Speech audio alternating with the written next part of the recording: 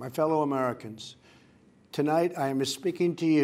Իմ համակարգացիներ, դիմում եմ ձեզ, քանի որ մեր հարավային սահմանին տիրող իրավիճակը վերածվել է մարդասիրական եւ անվտանգության ապահովման ոլորտի ճգնաժամի։ Սպիտակ տանով ալաձև աշխատասենյակից առաջին անգամ Դոնալդ Թրամփը տեսաուղերձով դիմեց ազգին, համոզելու, որ Մեքսիկայի հետ սահմանին պատկառուցելն անհրաժեշտություն է։ Իր 10 րոպեանոց ելույթում Թրամփը նորից պահանջեց կոնգրեսից հավանության արժանացնել պատի կառուցման ծրագիրը։ Դրանով Միացյալ Նահանգների Հանրապետական նախագահը մոտ 6 միլիարդ դոլար է պահանջում շինարարական աշխատանքների համար։ Թրամփի պնդմամբ արգելապատը կօգնի անօրինական գաղթականների դեմ պայքարելու համար։ Over the years, thousands of Americans Տարիներ շարունակ մեր երկիր անօրինական ճանապարհով մուտք գործած անձինք հազարավոր ամերիկացիների են դաժանորեն սպանել։ Հազարավոր կորուստներ էլ կունենանք, եթե հիմա չգործենք։ Թրամփը նաև վիճակագրական որոշ տվյալներ է ներկայացրել։ Դրանց համաձայն ամեն շաբաթ Միացյալ Նահանգների 300 քաղաքացի է մահանում հերոինի օգտագործման պատճառով, իսկ այդ թմրանյութի 90%-ը նախագահի պնդմամբ նահանգները մտնում Մեքսիկայի սահմանով։ Թեև այս թիվը ամերիկյան կառավարության հրապարակած տվյալների համեմատ չափազանցված է։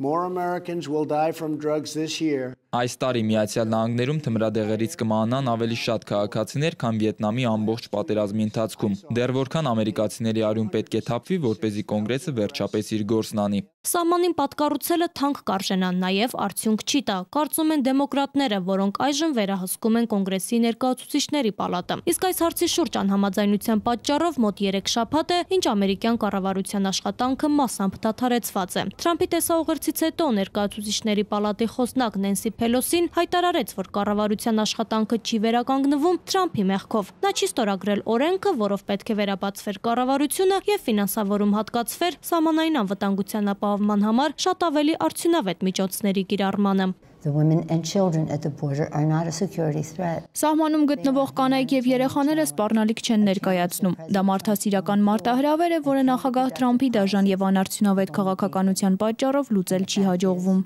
Թրամփի կարծիքով դեմոկրատների այս դիրքորոշումը պայմանավորված է անձամբ իրեն հակազդելու ցանկությամբ։ Թե որեր առաջ Թրամփը ակնարկում էր, բայց ամեն դեպքում որոշեց չօգտվել իր նախագահական լիազորություններից ու երկրում արտակարգ դրություն չհայտարարեց։ Այդ դեպքում նա կկարողանար առանց կոնգրեսի համաձայնության ստանալ պատի կառուցման համար անհրաժեշտ գումարը։ Դրա փոխարեն Թրամփը բանակցելու ու ներքաղաքական ճգնաժամը լուծելու կոչ է արել։ Կողմերից եւ ոչ մեկը սակայն զիջումների գնալ չի ցանկանում։ Իսկ մինչ այդ կառավարության շուրջ 800 հազար աշխատակից արդեն 18 օր է ստիպված չի աշխատում ու չի վճարվում։ Սա էլ բողոքի ակցիաների պատճառ է դարձել։